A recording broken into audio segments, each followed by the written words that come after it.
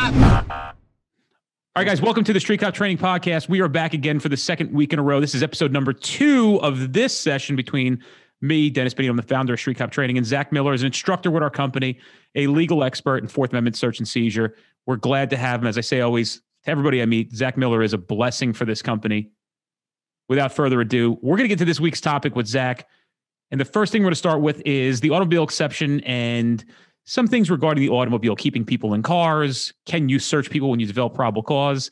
And we have enough time to go into Arizona v. Gant in this episode.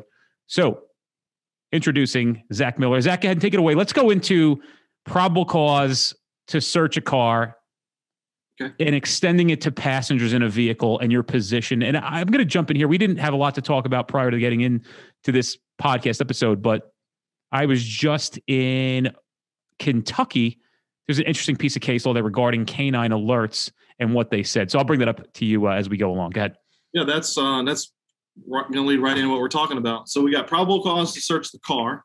Uh, and it doesn't really matter what the source of that probable cause is. Is it a canine alert? Um, maybe you smell marijuana or you see something in the car that gives you probable cause to search the car. Um, under the automobile exception, we're good on that. We covered that last week. So what about the occupants? Can can I search the occupants?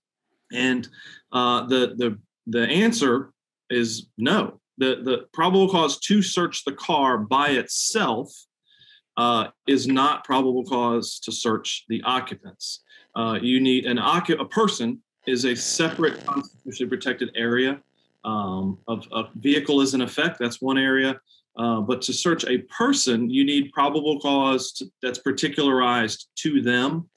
Uh, and just because you have probable cause to search a vehicle doesn't necessarily mean you have probable cause to search the person.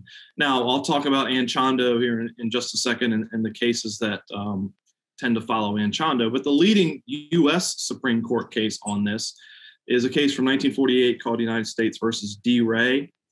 Um, and that was a case where um, they had probable cause to search the car uh, for evidence of uh, one of the guys had illegal, illegally obtained gas rationing coupons uh, in his possession. And one of the questions in this case was, well, does that mean you also have probable cause to search there was other occupants in the vehicle?